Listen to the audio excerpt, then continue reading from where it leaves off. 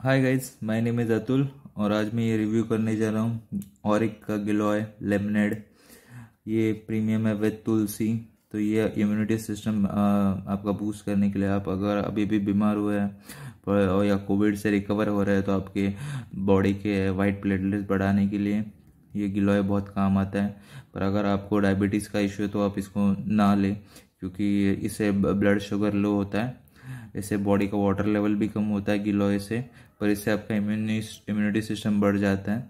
इसका डिसएडवांटेज यही है कि low blood pressure low blood sugar होके कभी कभी डायबिटीज़ वालों को तकलीफ़ होता है, शायद वो चक्कर आके गिर भी सकते हैं। बॉडी का वाटर लेवल कम होने की वजह से कॉन्स्टिपेशन होता है तो उसे भी प्रॉब्लम हो सकता है। और तीसरा कि आपको किसी सर्जरी के लिए जाना रहेगा और आपको तो ये आपका शुगर पैटर्न जो बॉडी का नेचुरल शुगर पैटर्न रहता है, उसको थोड़ा चेंज कर देता है क्योंकि इससे ब्लड शुगर लेवल कम होता है। तो ये उसलिए अवॉइड तो इससे कॉन्स्टिपेशन भी होता है। तो इसको कम ही मात्रा में लेना चाहिए। वैसे इसमें कमी है देखा मैंने किलो है ट्वेंटी फाइव परसेंट डेली तो इतना ही इनफ है। तुलसी थर्टी परसेंट इसमें इंग्रेडिएंट्स क्या? Water tender coconut water apple juice lemon juice herbal extract गिलोय तुलसी अश्वगंधा ओके इससे कब, इससे वाइट ब्लड वाइट जो ब्लड सेल्स रहते हैं, जो इम्यून सिस्टम अच्छा करते हैं, वो इससे बढ़ जाते हैं।